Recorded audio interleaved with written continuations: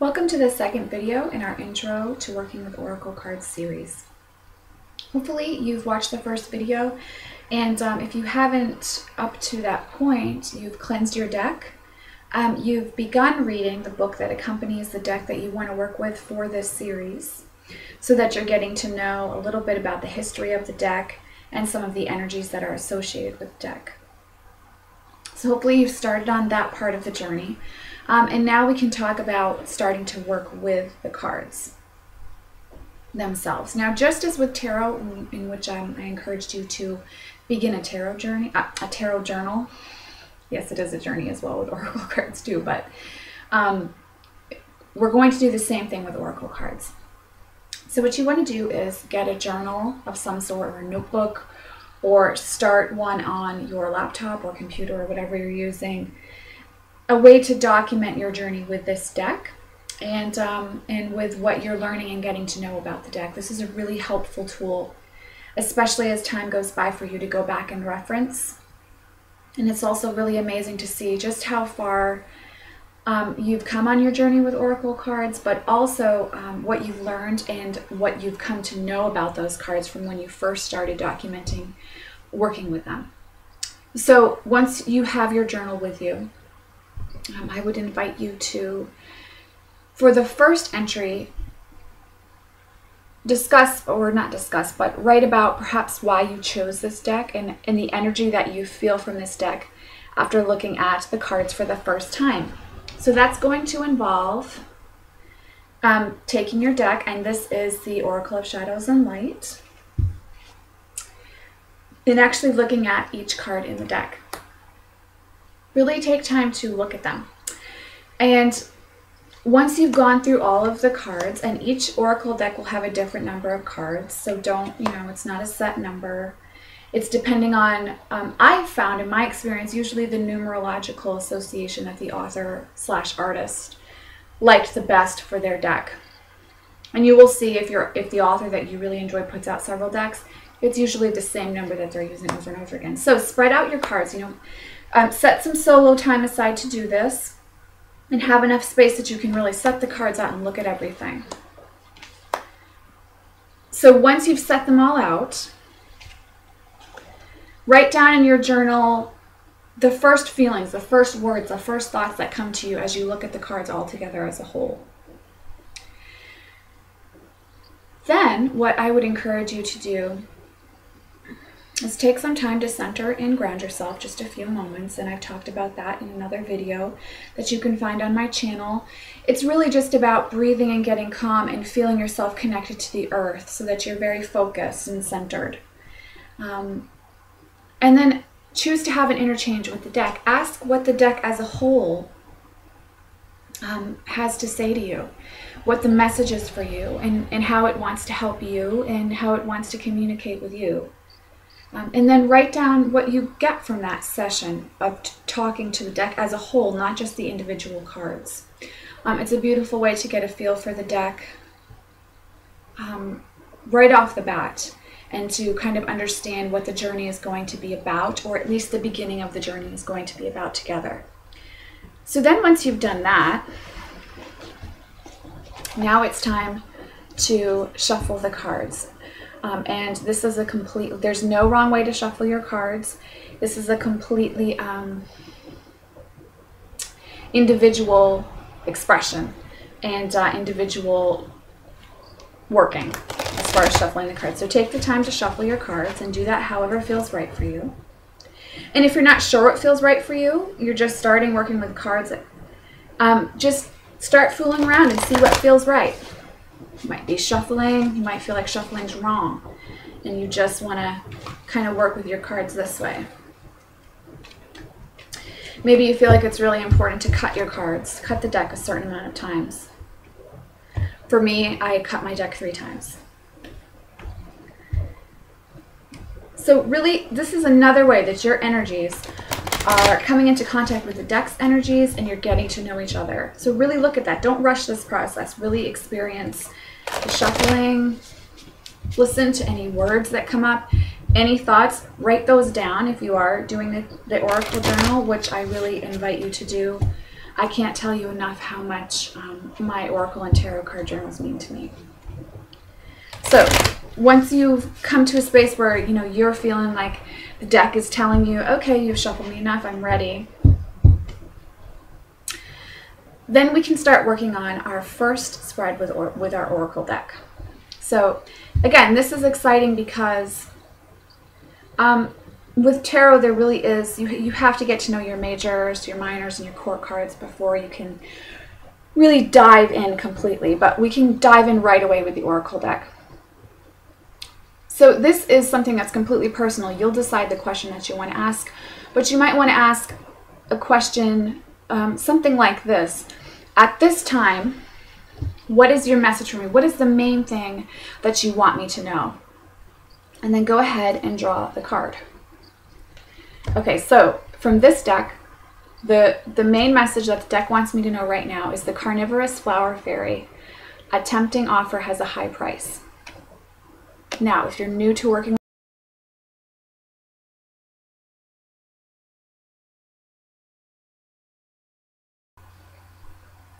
Okay, so we've drawn our card, and um, as I said, I have the Carnivorous Flower Fairy here is where I really encourage you to not just grab the book first, even though, as we talked about in the previous video, it is definitely very valid and um, worth your time to read the book that comes along with your Oracle deck. This is when it's really important to access our intuition as we're looking for the answer about what the message, in this case, what the message the deck has for me at this time is. Um, whatever question you've chosen to ask your deck before you've drawn your card, don't just jump to the book right away because that that becomes an ego place in our mind where we think I can't find I can't you know find or hear the answer so I've got to look it up. And then we get stuck in always looking the answer up instead of asking and talking to the card and the energy associated with the card. So first of all before I start talking to the card I just want to look at the picture itself. I want to look at what's in the card the symbolism that's there what's sticking out to me so I'm just going to show you so you can see the card. As I'm looking at this card and thinking about the question that I've asked the deck, what's sticking out to me is the, well, I'm just going to point, is the Venus flytrap right here, the plant with the teeth attached to it. She's so beautiful and she looks so sad, and yet there's a lot of teeth that's coming along with being in communication and in, uh, in life with her. So that's what's really sticking out to me is are those teeth. Now that I've just now that I've looked at that and I've allowed my mind to kind of take a step back from having to have the perfect answer and just actually look at what's in the card. Okay, so I know it's sticking out to me, the teeth that are on the Venus flytrap. Now I'm going to internally, or you can do this out loud if you're by yourself and you feel comfortable, talk to the card and the energy with the card and ask what the message is. Okay, so what is your message for me right now at this time? What is it that you want me to know? And then just listen to what comes to you. You know, look at the card and listen to what comes to you. If you're still just really picking out the teeth, that's what's sticking with you, or whatever it is you happen to see in, in the card that you're working with, um, don't get go into a fear place with, oh no, I'm not going to be able to talk to the cards or hear an answer. Just be quiet and listen. And if this is your first time working with the cards, it's going to take a little bit to be, feel comfortable enough to hear the answer and to actually trust that that is the answer. Eventually, you will hear an answer of some sort, or a message, or you'll see an image or a thought will come to you that makes sense to where you are in your life right now. Um, drawing this card, I know in that what's going on in my own life at this time. Um, there is someone in my life that's looking to drain me of energy and resources. And um, it's now up to me to stop being the victim and to stop agreeing to be in this kind of relationship and to step back and say that that's not working for me anymore. So that's a message that I've received from the card. I can also tell by the fact that I've drawn this card that this deck is really wanting to help me work on developing my strength and standing in my own power and not allowing others to take from me and to feed off of the energy that I have. Um, helping others to heal, but healing myself as well. It's a very, very important message for me right now. So you can see that by just taking the time out to speak with the card, to look at the card, I've then been able to really get the answer that the, that the deck is trying to give me. I've heard it quite clearly without having to read the meaning in the book. If you really are feeling stumped and like you have to look the meaning up, that's perfectly fine. Go ahead, look up the meaning. This is card number 38. So a lot of what this is talking about is a narcissistic person, workplace, or belief system that is demanding, all consuming, and almost cult like in its practices and ethics. It is a dangerous alliance to contemplate. Do not get too close. Observe and learn if you must. Do not become an experiment. They will bite you and they will try to take from you. It is their very nature.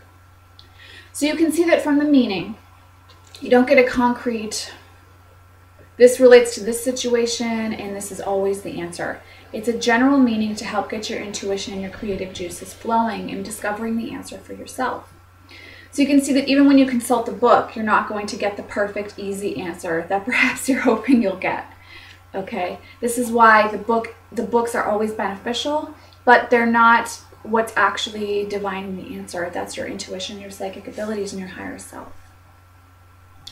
So now that you have spent this time with the deck, um, you can choose if you feel that this is enough work for one sitting um, to close your time with the deck and working with the energies associated with the deck. I prefer to do that by thanking and honoring the deck and the energies and um, just letting them know that our, our session together working on these issues together has closed for the time being and then I'm going to go back to my daily life. This just helps, it's a very, it just makes it clear that I can go about my day and be grounded and if there are messages coming in from them, I can receive in a way that's not disruptive.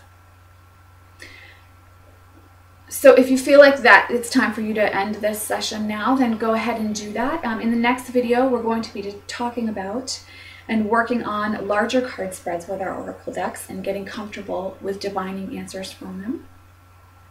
If you feel like you're ready to go on to that video, um, I will have that up soon. And if not, um, take all the time that you need to spend with this video to feel comfortable with working with this. And I really, really encourage you to spend the time um, working on an Oracle card journal. I cannot tell you enough the benefit that, that, that I've experienced in my life from that um, and that other people that I've talked to who have done the same really enjoy being able to look back and have a documentation of that experience, but also um, lessons learned and getting to know the decks in certain ways. So really work on um, spending time with your Oracle card journal as well. Um, it can become a very healing experience for you. So I will see you in video three of the Intro to Oracle Card series. Thanks for watching. Bye.